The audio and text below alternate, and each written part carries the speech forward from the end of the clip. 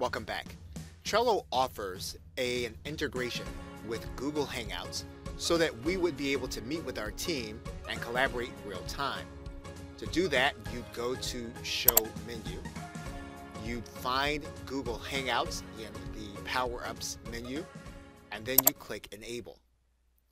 Now, when this happens, Google Hangouts then becomes a link in your Trello board. Clicking the link produces a live Google Hangout window that your team can join. When you click join, you will be starting the meeting. And then anyone that has video capability, whether by mobile or their personal computer, can participate in the meeting. Now there is one problem with the meeting, and that is that in this manner, the meeting is not going to be archived. Now there's a slightly better way to archive the meeting and to have the meeting inside of Trello. And to do that, you are going to need to use your YouTube channel. When you're in your YouTube channel, you'll go to your profile area and then you will click inside of your Creator Studio. Once you're inside of your Creator Studio, you're going to go to the live streaming area and then you're going to click Events. You're then going to set up a new live event. You'll then have two options when it comes to setup. One option, you can set up a private Google Hangout.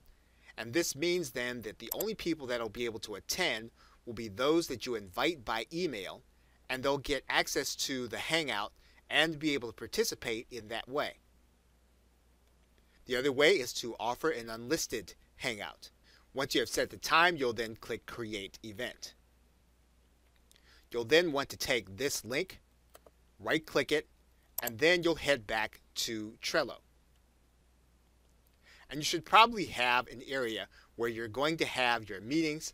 You should have a card set up where it is dated and timed. What you'll do is you will click inside of this card. And then in the comment area, you are going to take the link that you just picked up from YouTube and you're going to paste it inside of the comment area. And then you're going to click Save. And what you've now done is you've now embedded the live meeting inside of the Trello card that you are actually going to be discussing. And so this gives you more immediacy to the discussion and keeps your comments about the meeting inside of Trello. Now when the meeting actually starts, you are going to be able to have your team click this link and watch the meeting live as it happens, as well as to be able to go back and watch the recording. At the time of the meeting, all you'll need to do is to click Start Hangout on Air.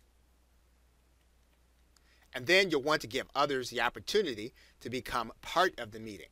So to do that, you'll go to this top area where it says Invite People. You will then take this link and you will distribute that link to the rest of the members of your team so that when they join the meeting, they'll be able to discuss the issues if they have video and audio available on their PC or mobile device. Once you start and complete the broadcast, it will then be available on YouTube after the meeting, either as an unlisted video or as a private video. However, you will have conducted your meeting live. It will be within Trello being streamed through the embed code, and then you'll be able to dictate discussion inside of the card. Okay, so with that, thanks, and I will see you in another video.